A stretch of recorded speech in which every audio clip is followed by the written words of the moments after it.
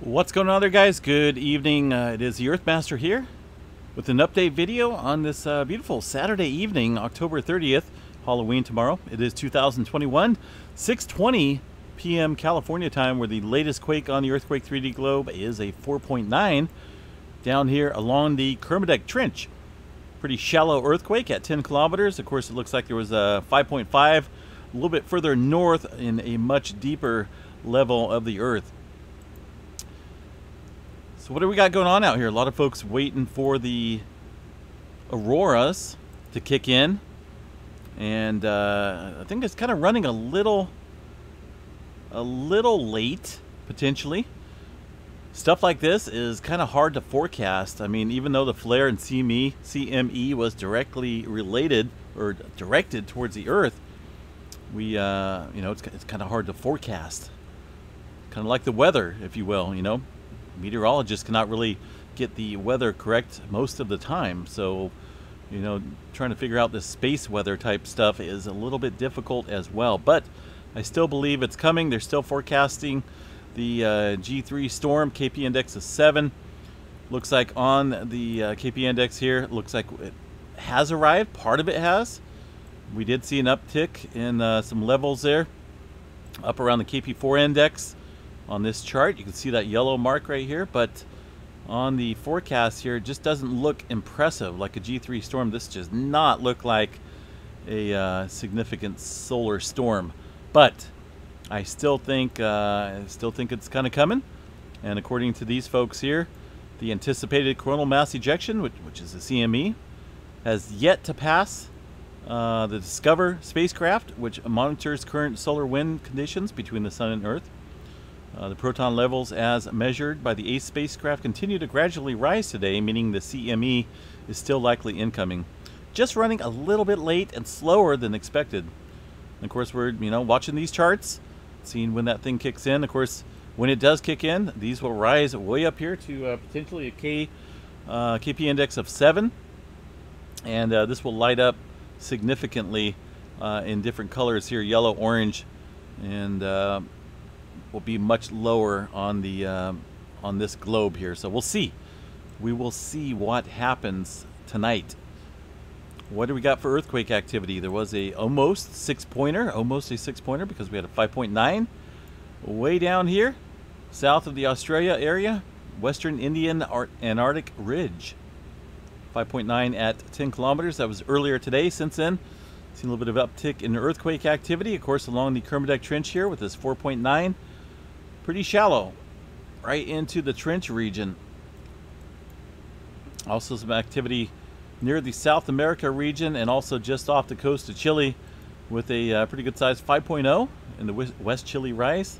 Some deeper movement into the Peru-Chile Trench with a pair of earthquakes uh, well below 100 kilometers, 4.2 and 4.2. Up here in the Puerto Rico area, looking at some seismic activity increase around the Puerto Rico region and also just down here south off the coast of Puerto Rico. Very typical to see swarming activity there in that region.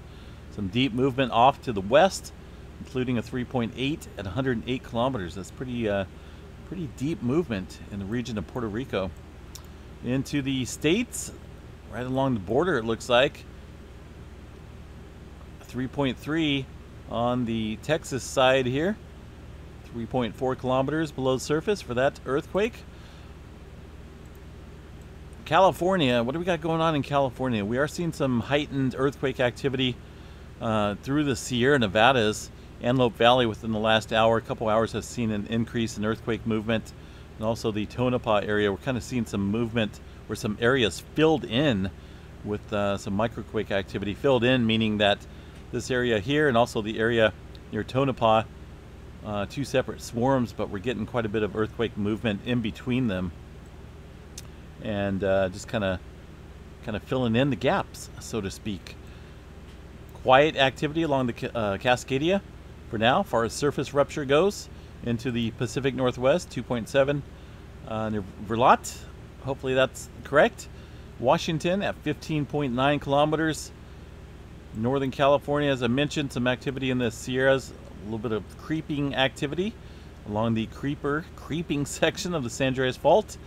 and uh, some activity in Southern Cal, but not, man, this is just quiet down here in Southern California. Just a couple small scattered earthquakes, uh, including some on the east side of the Salton Sea, just off the Brawley seismic zone. But uh, overall, kind of quiet in the Southern California region. Up through Idaho and Montana, things uh, just kind of moving a little bit. Nothing significant, just a couple twos throughout Montana area. Looking at the Yellowstone seismograph stations here real quick, we can see the overview of activity at the supervolcano in Yellowstone. Uh, looks pretty quiet, folks. We're not seeing any major swarming. Uh, in fact, no swarming or any type of earthquake activity that I can tell. Maybe one little one right here. But overall, uh, pretty quiet in the state of Wyoming. New Madrid areas, eastward, pretty quiet. Looking at uh, some activity off the coast of Japan, but overall, things along the Pacific are relatively quiet, folks. Uh, let's go ahead and see what we got. Uh, hold on one second here.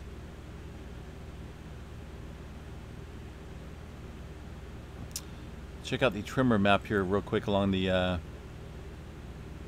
Cascadia. Things very quiet. Uh, the movement up around Seattle, Vancouver region, pretty quiet. Uh, only uh, 26, 26 epicenters. There is some movement on the southern end of the Cascadia subduction zone there in the northern California.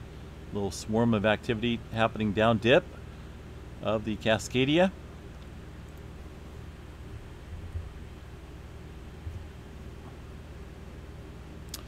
See what we got here for the uh, volcanoes. I know quite a bit of people talking and asking about La Palma. Of course, this thing is still kind of kicking up. Not seeing any movement really on the uh, earthquake maps according to the USGS. But let's check out the EMSC far as the models go uh, when it comes to the earthquake activity because kind of like to watch what's going on in that area of the world. Looks like there's a little 4.1 kicking off. Let's see if we can. There we go. Had a 4.1 and a 4.0. Looks like uh, or er, well earlier today around the Canary Islands, Spain region uh, associated with the volcano La Palma over there. There is some. Uh, let's see what we got here. Let's pop into Guinea.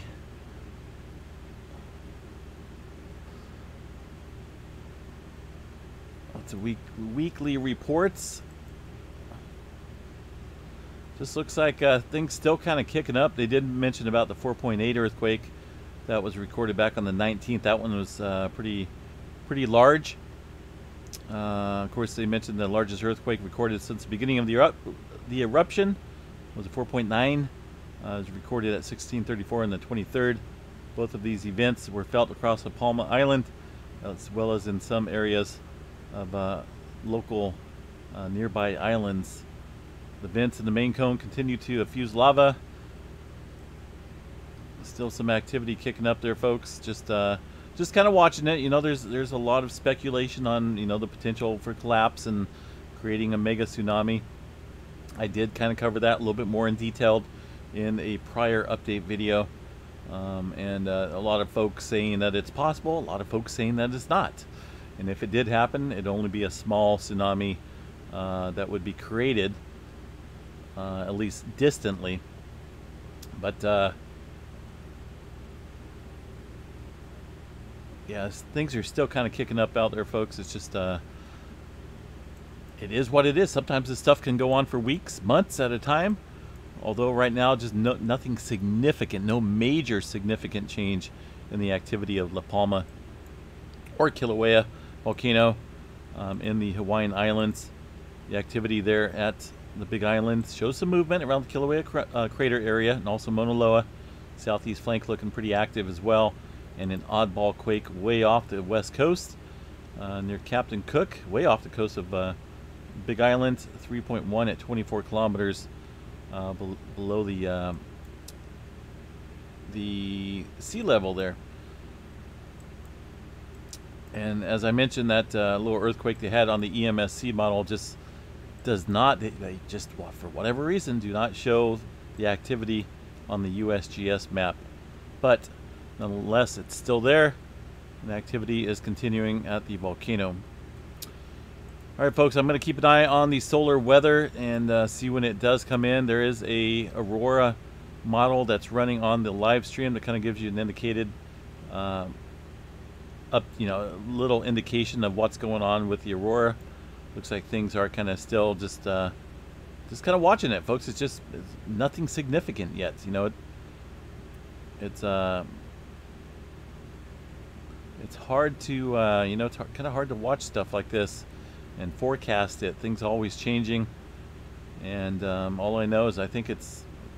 I, am kind of agreeing with these guys. It's a little late. I think it's going to be a little bit more active than that, than what we're seeing right now. So tonight uh, is probably the best night to be able to see the uh, um, auroras down at the mid latitudes.